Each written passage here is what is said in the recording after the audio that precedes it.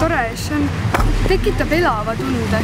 sa, kui sa sõidad mäest alla, kõik see tuul, mis sulle näkku tuleb ja sa adrenaliini, kui sa sõidad sealt alla, see on nii hea tunne, sees tekib kuidagi nagu see oleks lilli täis seest ja see on parem kui ükskõik mis, ma ei tea, mõttetu aine, mis paneb sind tegema mida iganes, see on, sa saad seda ise teha ja see on nii, mis sul vaja on, on üks selline laud ja sa saad tekitada endas lõpmatuse tunde.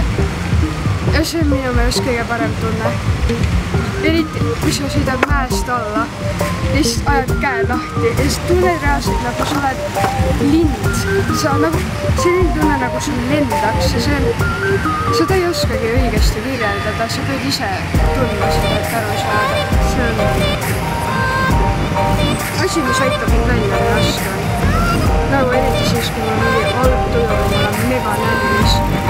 ma nagu, ma ei lähe, ennast kuskilt täis, ma lähen ja sõidan ja see vabastab lihtsalt kõigest, kui sa ei mõtlegi mitte millelegi, sa lihtsalt sõidad.